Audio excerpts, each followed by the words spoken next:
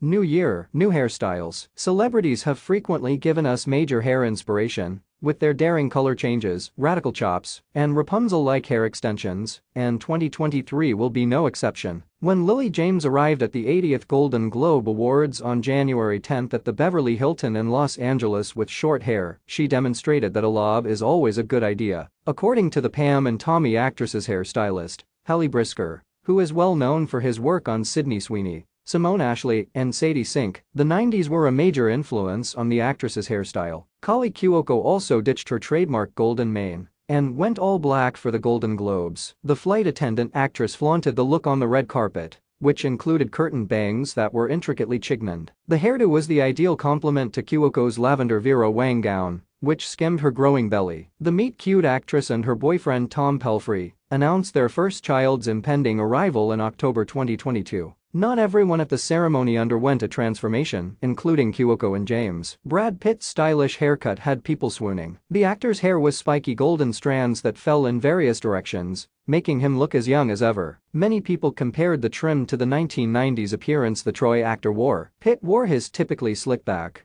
longer hair for the event. View the most impressive celebrity hair transformations from 2023 by scrolling down.